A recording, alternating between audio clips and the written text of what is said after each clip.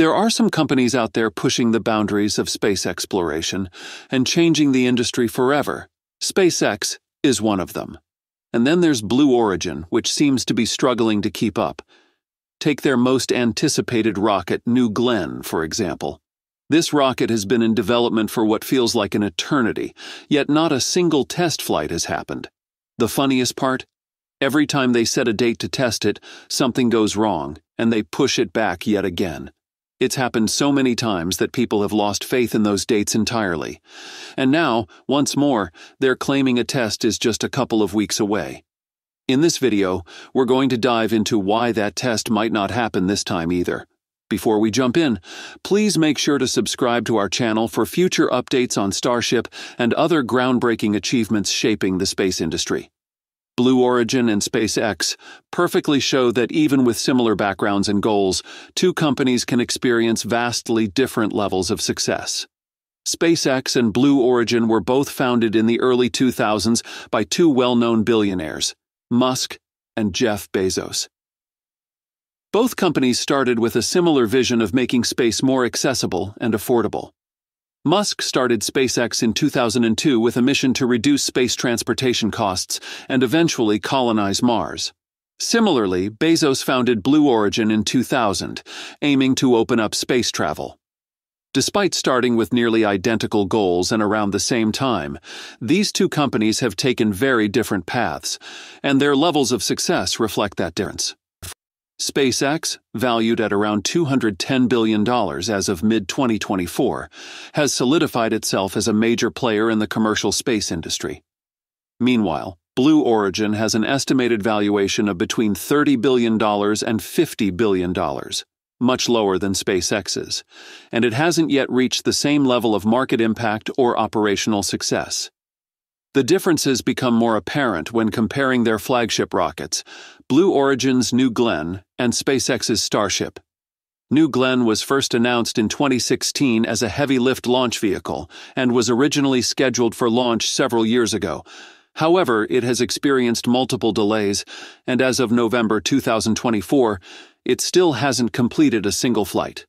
New Glenn is designed as a two stage rocket with a diameter of 7 meters and a height of 95 meters.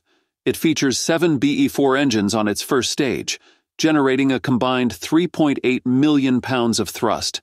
When fully operational, New Glenn is expected to deliver about 45 metric tons to low Earth orbit and 13 metric tons to geostationary transfer orbit.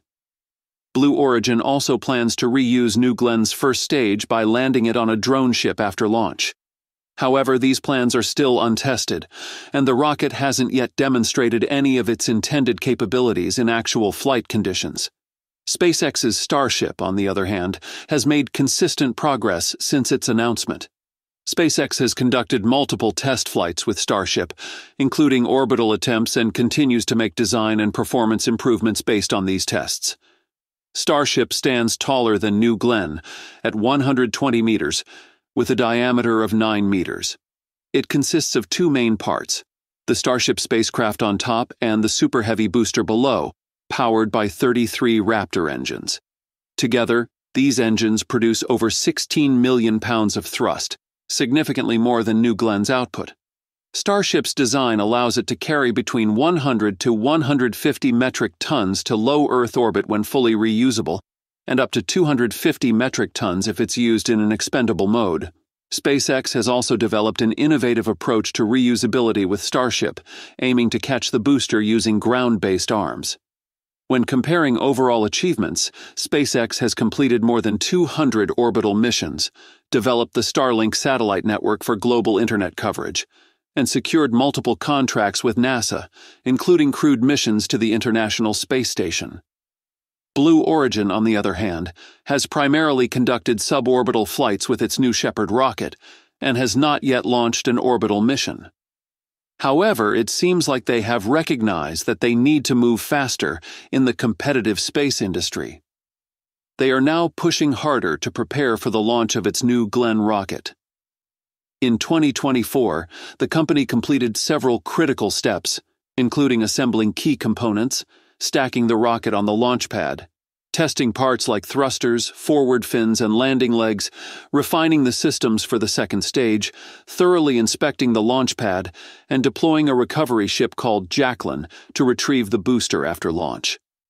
A significant breakthrough came on October 24, 2024, when Blue Origin announced that it had successfully installed seven BE 4 engines on New Glenn's first stage. These engines are designed to produce a total of 3.8 million pounds of thrust, with each engine capable of about 246 tons. Additionally, three of these engines can gimbal, or pivot, which helps control the rocket during crucial phases like ascent, re entry, and landing. This gimbal capability, along with landing gear and reaction control thrusters, is essential for reusability, allowing the booster to land on the Jacklyn drone ship after launch. With these components now in place, Blue Origin is entering the final stages of preparation. These steps include cryogenic tests to check that the booster can handle extremely low temperatures during fuel loading, static fire tests to confirm the engines work as expected, while the rocket is secured on the ground and wet dress rehearsals, which simulate full launch conditions without actually taking off. Each test is essential to verify that New Glenn is ready for flight and can operate safely under real launch conditions. Blue Origin is aiming to launch New Glenn in late November 2024. However, with a tight schedule for these final tests, there is little room for unexpected issues. If any problems arise during testing, the launch could be delayed. Blue Origin originally aimed to launch its New Glenn rocket around the same time as SpaceX's Starship Flight 5. However, delays held New Glenn back, while SpaceX went ahead with its mission and achieved a major milestone. On October 13, 2024, SpaceX launched Starship Flight 5 from its Starbase facility in Texas. This mission was notable because SpaceX successfully caught the returning Super Heavy booster midair, using the launch tower's mechanical chopstick arms, a significant step in reusable rocket technology. This marked the first time SpaceX managed to catch a booster this way. After the booster separated, the Starship upper stage continued its flight, reaching a suborbital trajectory. It then re entered the atmosphere in a controlled descent and performed a splashdown in the Indian Ocean. For the upcoming Flight 6, SpaceX plans to take this reusability effort further by attempting to catch the upper stage, or Starship, using the same chopstick arms that caught the Super Heavy booster. This would allow both stages to be reused, reducing launch costs and shortening turnaround time between flights. SpaceX has already begun preparations for Flight 6 including static fire tests of the Super Heavy booster, which indicate that the mission is progressing as planned. While SpaceX has been making steady advances, Blue Origin's New Glenn rocket is still preparing for its first test flight. Blue Origin has made significant progress in assembling and testing New Glenn, including installing the BE 4 engines, but the rocket has not yet launched. As of November 2024, there is still no specific date for New Glenn's first flight.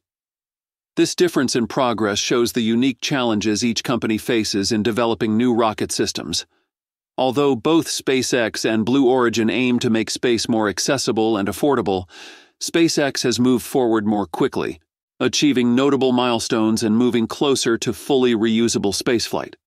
That wraps up today's video. Don't forget to subscribe for more updates, and we look forward to seeing you in the next one.